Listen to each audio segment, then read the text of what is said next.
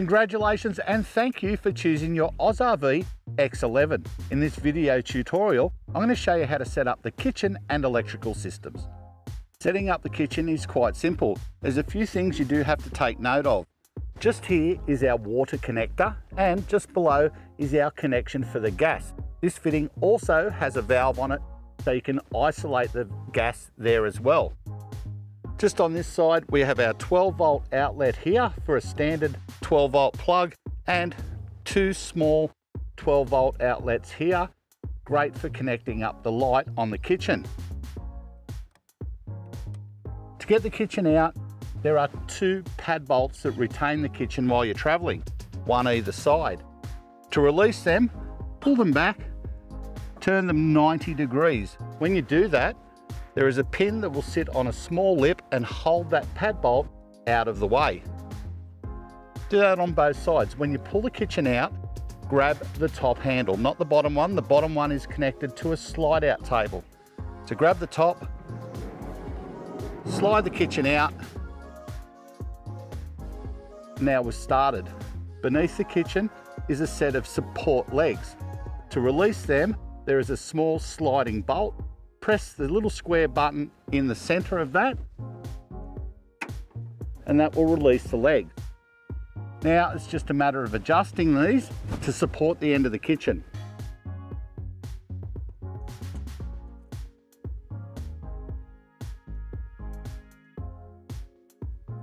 This is an important step because when you start putting pots and pans and Dutch ovens on your cooktop, you don't want the weight to start trying to bend the hinges. Very important to put that stabilizer leg down. Then simply open up the kitchen. To set up the windshield either side, lift them up and swing them out.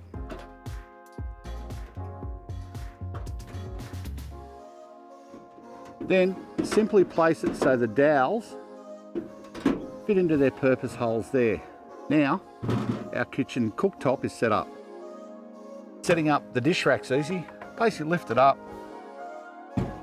fold the rack down. Now we can set up our light and plug in the electrical and the gas and the water.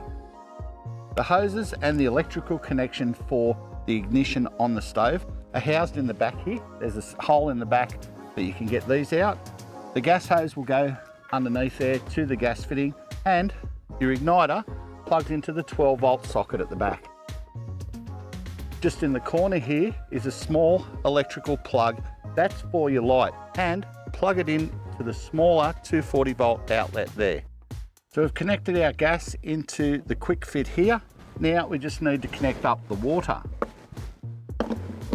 The water simply plugs straight into the fitting and into the fitting on the side of the kitchen. Simply turn the switch on for the water pumps and we'll now have water at the kitchen. When packing up the kitchen, first turn your gas bottles off, turn off the gas at this little connection here, and we can start disconnecting. To disconnect the gas, pull the collar back, pull the hose out. With the water, make sure the water pump is turned off, release any pressure through the tap so you don't get yourself covered in water when you release the hose. Pull the collar back, and disconnect the hose. Now we can put our dust cover back on, stow our hoses away and disconnect the electrical. Disconnecting the electrical, take the plugs out, just slide the light plug back into its little holder on the end of the kitchen. That'll keep it neat, it can't get damaged. Disconnect the 12 volt and return the dust caps into their positions. Packing up the cooktop is the reverse of setting it up. Pull it back, fold our wing panels in,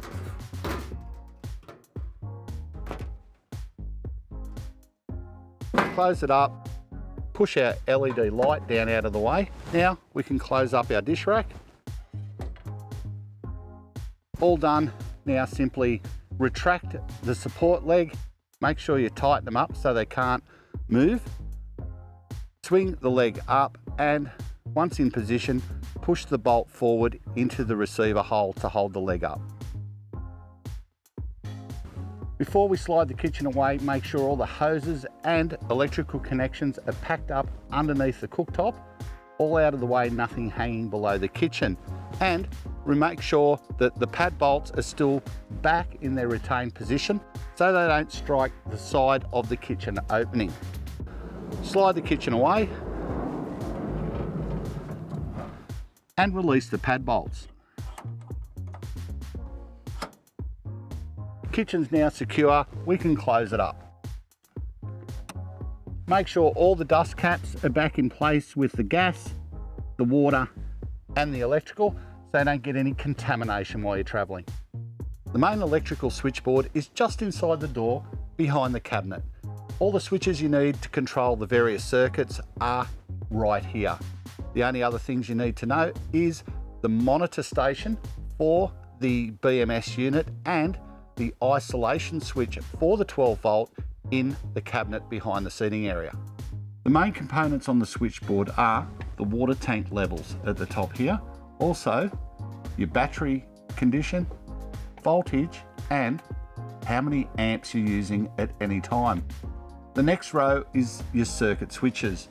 On the left is the main switch. With that switched off, it cuts all power to the rest of the circuits. You have your fridge, lights, 12 volt plugs and water pump switch here. The bottom row are push to reset circuit breakers. So if an individual system stops working, this is your first call to reset the breaker and restore that unit. Just beside the electrical panel are the switches to all your light circuits. Indoor and outdoor lights can be accessed here. Just inside the door on the opposite side from the switches is your RV view or the monitor panel for your BMPRO. This unit will tell you how much power is going in from the solar, from your Anderson plug connection, and basically tell you everything you need to know about what's going on with your power and your batteries. Underneath the seat we have our mains power protection. This is your circuit breaker for the mains power into the caravan. If the mains power stops working, this is your first place to look to reset the breaker. Just beside, we have our main 12 volt breaker. This breaker is a resettable type and you can also use it to isolate the 12 volt system entirely from the batteries by pushing the red button. Once that's pushed, all 12 volt is now switched off from the batteries. Simply push the small lever back in and that will restore the power. On the other side of the van, opposite the kitchen, are our batteries, our two 100 amp hour AGM batteries. Any other charging units you use, make sure they are set to AGM.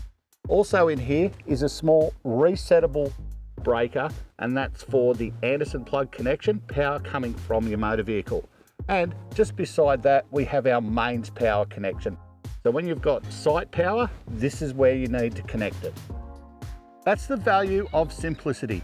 So easy to set up and use both the electrical systems and the kitchen in your X11. For more information, head across to our website and check out our other video tutorials on our YouTube channel.